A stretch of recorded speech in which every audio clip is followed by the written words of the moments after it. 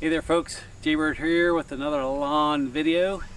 This is a follow-up on the first GCI turf overseeding. So I overseeded with GCI turf for the first time. This is the turf type tall fescue grass. I have overseeded and I left my lawn for a week. So uh, August 26 was when I overseeded exactly a week ago. Today is Monday, September 2nd. so, you can see this grass is really long. You got like, that one blade there is eight inches long. Um, there's a lot of, looks like new grass in here and you can see up here where I overseeded uh, the special areas by the driveway, they have definitely germinated and sprouted. And it's only been seven days, so I'm really happy with that. Let's take a closer look. So you can see here, they have this uh, symptom of the Scotts lawn soil sort of floating on top of the grass.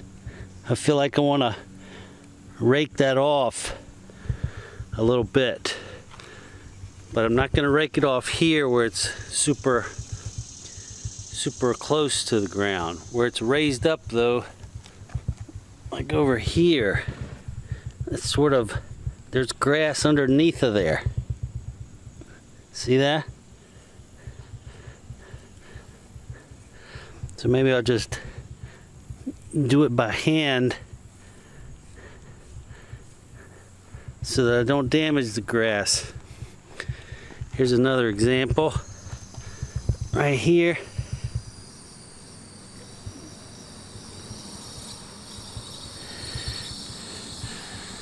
But you can see the grass has come in pretty well.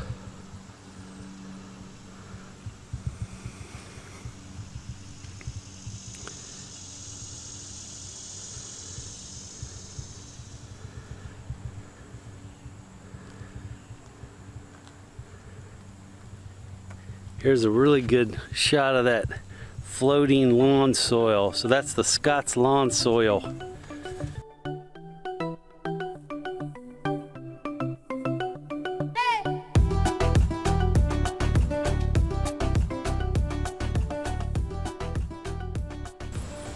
So I'm not going to mow over the brand new grass. I'm not going anywhere near it. I'm going to go around it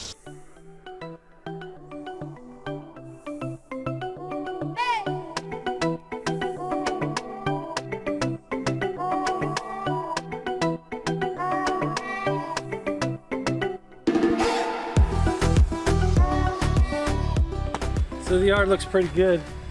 I actually was planning on double cut, but it, um, it actually worked pretty good. I got sharpened in that blade and um, just it mulched it up really well. So I might take the back of a rake and scrape it here and there just to get rid of the clumps. So I don't know if you can hear that machine in the background. That is an aerator. This is the first year I have not aerated my lawn.